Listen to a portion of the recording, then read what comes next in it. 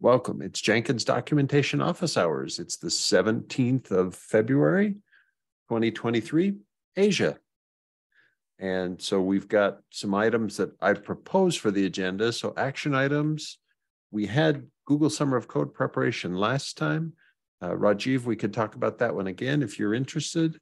Jenkins Awards, documentation transition to Java 17, an end of life checklist has been discussed. Preparation for CentOS 7 end of life. And that was about it. Rajiv, are there other topics you'd like to add to the list? Uh, no, no. Uh, as of now, no. Okay. I think we can wait for Kris. Uh, okay, maybe. All Not sure right. if you'll join. And, and I was assuming we could spend time on Google Summer of Code preparation. So, Hmm. so that's a, a great one to have you. Hey, Meg, welcome. Nope, still no sound from Meg. I see Meg twice, but no sound. So let's go ahead then. So how about while we're waiting for, I see your picture now, Meg.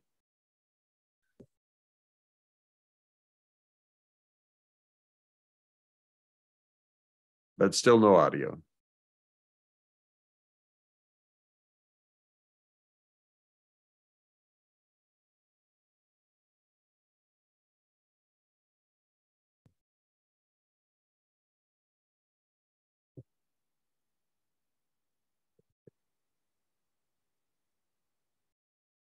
All right. Well, so if you can hear Meg, that's great. So there are some pieces while you're working on figuring that out. Let's go through the easy parts of the agenda. The kind of uh, we can just keep you informed, and then we talk about it from there. So one of the items is Jenkins Awards 2023. I'm going to move GSOC preparation down, and we'll see if Kris Stern joins us.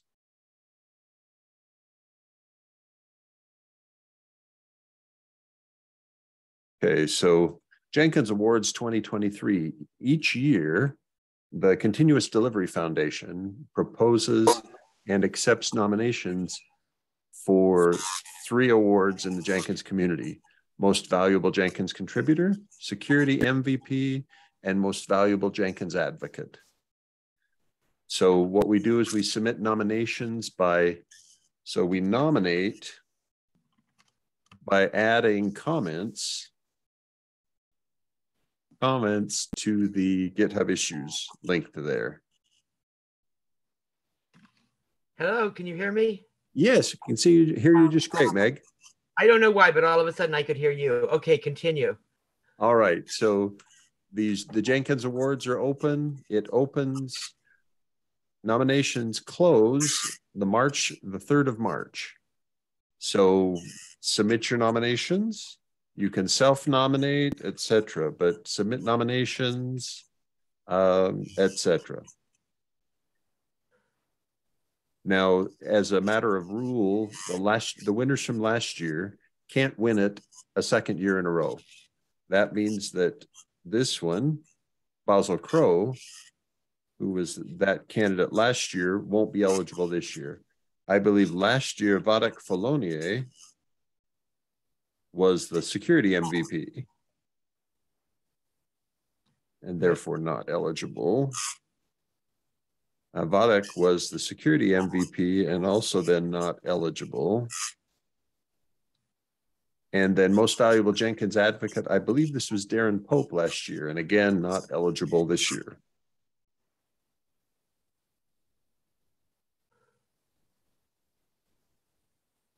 Uh, Alyssa Tong has gotten that started and it's administered by the CDF, but we host the, the nominations in our repository. Any questions on the Jenkins Awards? No. Okay, next topic then. Documentation transition to Java 17. So beginning in April or May of 2023, Debian 12 will release. And Debian 12 at its release will no longer deliver Java 11. It will deliver Java 17.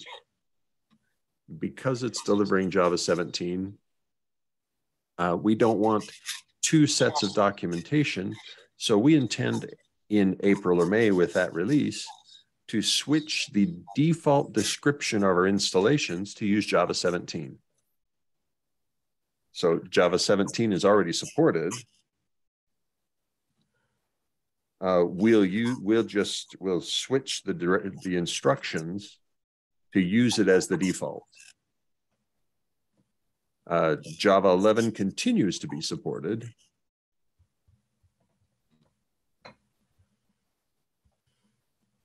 And uh, we look forward to making that transition. Now, Tim, or no, uh, Kevin Martens has the action item to share with Tim that that's the proposal from the documentation side. Any questions there? Sounds like a plan to me. Okay. Next piece was we've got a number of end of life events coming up for various operating systems. Um, Ubuntu 18 ends life in April of this year.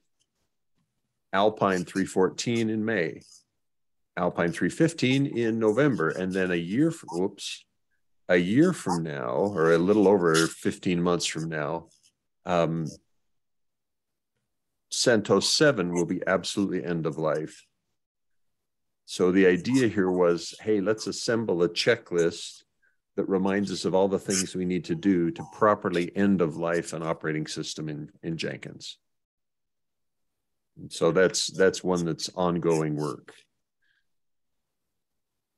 The idea idea there is Kevin will probably create a uh, create a template in the template in the Jenkins docs repo and then create copies of that template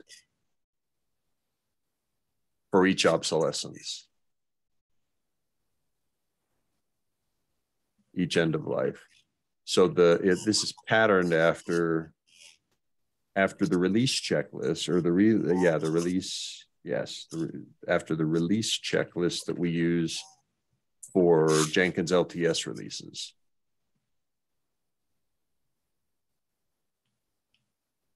So it's just a nice thing to have a checklist that we use to work through hey, how does have we done all these things as we reach end of life on an operating system?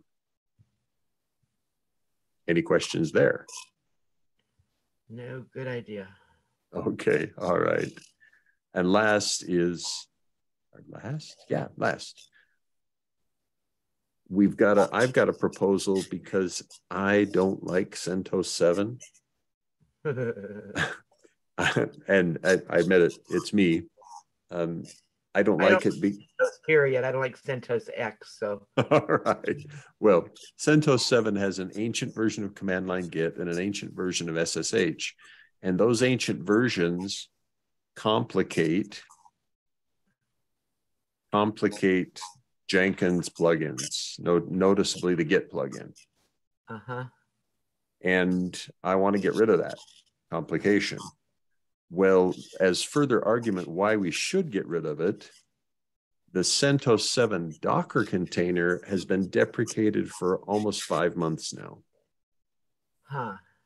And the CentOS project entered maintenance mode in 2020 and will end of life in 2024. So completely there won't be more CentOS. Well, no more CentOS 7 for sure. Oh, and they've they've done a different thing with a thing they now call CentOS Stream that is the next it's it's a predecessor of the next release of Red Hat Enterprise Linux. So they've shifted it to be closer more like Fedora than what what CentOS 7 was. CentOS 7 was just a simple copy of Red Hat 7. Okay. So now we've got so this is this is a difference from the past in that usually we would continue to support this thing until its official end of support by the operating system provider. So we would typically have supported it until June of 2024. But given the Docker container is deprecated and given the pain and suffering caused by the ancient programs inside of it, I'm taking the proposal that I think I'm going to propose a Jenkins enhancement proposal that ends its life early. Does anybody of consequence use CentOS? Oh, yeah, yeah. Uh, for instance, Darin Pope created a video showing how to install with CentOS 7, and there are quite a number of, of issues reported related to it. For instance, the big reason why this thing, this ancient SSH, was a problem for the Git plugin was because of bug reports where CentOS 7 users said, Hey, your Git plugin defaults broke me on CentOS 7. Uh-huh. Every other platform was fine, but CentOS 7 was broke. Uh, So, did that answer your question, Meg? right. So that I mean, is there gonna are these people are there people using CentOS 7 that are gonna be upset by this? There, there will be, but they'll be every bit as upset in June of 2024 Yes. because many of them will say, I want to keep using it even though the project no longer supports it. And, and the answer is Jenkins will absolutely drop support in June of 2024 because we won't support something that the upstream no longer supports. Right. So the idea is because our installer already doesn't support it, and because the containers aren't supported, it's already coming to a premature end of life. And since it's coming to a premature end of life anyway, let's make it explicit and declare it end of life. And so what we'll need is things like a blog post and a timeline, uh, you know, blog posts, timeline, uh, warnings to users from a Jenkins admin monitor. Uh, so that they'll get a little pop-up that says, hey, you're running your controller on CentOS 7 and CentOS 7 support from the Jenkins project will end in, let's say, December of 2022, three, something like that. Just for the sake of do they have any record? I mean, if they wanted to grab their own copies of the plugins and keep them updated for CentOS 7, et cetera? Uh, mean, sure, they could, they could certainly fork the plugins and, you know, create their own private copies and decide, hey, I'm going to maintain it. That's not a typical behavior for a CentOS 7 user. That's what I, yeah. That's what I'm just wondering. If there's like a big company out there that's got some other though critical software that won't run on anything but CentOS 7 or something. Yes, then they, they certainly, because it's open source, they could certainly maintain it uh, themselves. They could uh, care for it. And right now, we're not taking any active measures to, to make things any worse. We just want to officially declare we're going to stop testing there. We're going to stop uh, documenting there, and we're going to we're going to make it here. Let's show what I like this way of describing it. It will become one of these. If we look at the Java requirements,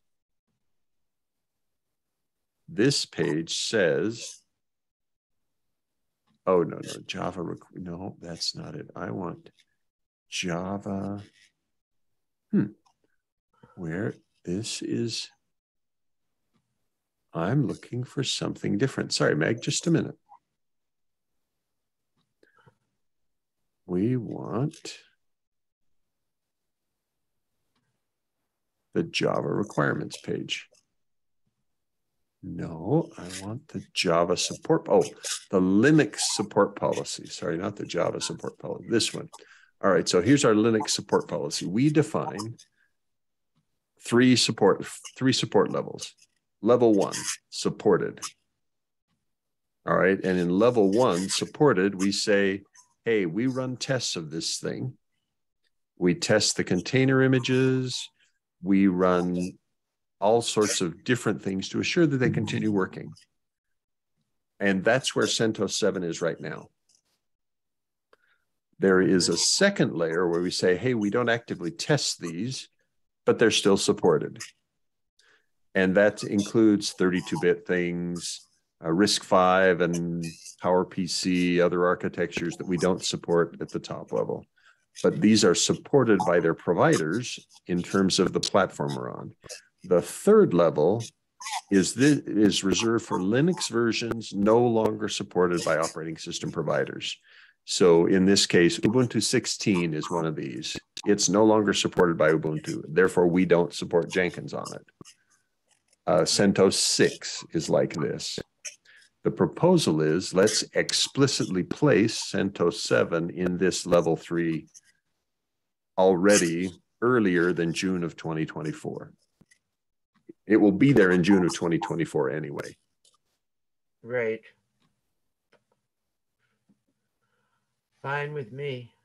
All right, cool. CentOS. I mean, of course, I'd like to stop supporting Windows. So.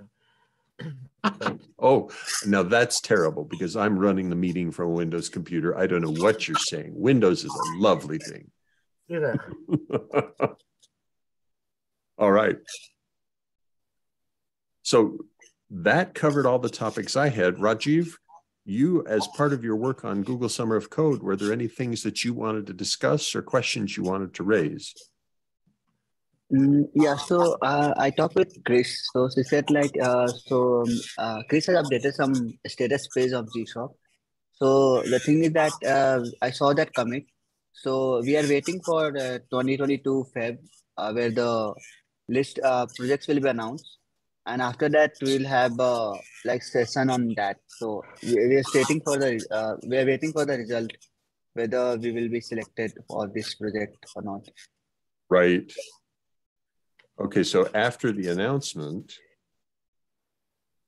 there will be a weekly office hours for weekly Google Summer of Code office hours for org admins and mentors. Had you seen that Yeah. announcement, Rajiv? Uh, yeah, so after the announcement, we will have a kickoff meeting and Right. maybe we can discuss about that. Good, very good. And now your, if I remember correctly, your past experience was with site generation. And so you were interested in the, the doc site generation project. Yeah, So site generation for Jenkins.io, and you were willing to mentor. Oh, Rajiv is willing to mentor based on your experience with a site generation project in a previous Google Summer of Code. Is that correct? Yeah, All right. So Meg, for your info, this is a project to use Antora Ah. to build the Jenkins.io site and to allow the docs pages to be version specific. Nice. Right, right. It's a it's a really it's a great idea. And the the the nice thing here is that Rajiv has done something like this in years past for another project as part of Google Summer of Code. So Rajiv is willing this year to help by being a mentor on it. Rajiv, did I say that correctly? yeah, yeah. And uh, Meg was my mentor last time. Oh, Uh, oh, oh, He was captain. oh, Yeah. oh. Oh, well, that's that's great. Okay, so so you've had interactions with with more than just Kris Stern on this project. Very good. Yeah. All right. Well, so do you have any other questions, Rajiv? Uh, no, no, not as of now. So Meg, any other topics for you? nope. Okay, well, I think I'm going to propose to pause to stop here then because I've got a hot bug in Jenkins core that I want to fix and it needs me to write a test for it. So I'm going to call an end for Doc's office hours today unless there are other topics we want to discuss. I'm good. All right. Rajiv, thank you. We'll look forward to talking to you when Google, where I'm intensely hopeful that Jenkins will be accepted and that announce that'll be announced on the 22nd. And then we'll talk to you at Google Summer of Code office hours. Now, next week, I'm you. canceling this session. Uh, so, oh, that's right. I should make a note of that. Um, cancel this meeting next week because Mark is going to Miami with Ooh. Colleen Oh, how lovely. Well, for a now, vacation. Nice. Ugh. I don't like Miami any better than I like CentOS, but it's negative today on everything you do. Now, now, just so we're clear, Meg, Miami is a lot better than the 17 degree Fahrenheit weather I had in Colorado today. Um, I lived there for two and a half years. Well, Fort Lauderdale. So yeah, I, I would actually argue I'd rather have the 17 than than, than Florida. every building doesn't smell of mildew. See, now, now that's You don't have three inch bugs that crawl across the floor that you can smash and they keep moving. all right. And that's that's the price you pay for living in a tropical paradise. Rajiv, I assume that you live probably in India somewhere. So you Yeah. understand hot and wet and that winter time probably doesn't bring much snow to you, right? Yeah. Yeah. So we're going to make a trip to a place that's probably nearer to your weather than to my weather. Right. What are you going to do in Miami then? We're just going to wander around and have fun. All right. All right. Well, thanks, everybody. We will talk to you in two weeks. Fabulous. Thank you. Thanks. Bye. Bye-bye. Thanks. Bye. Bye.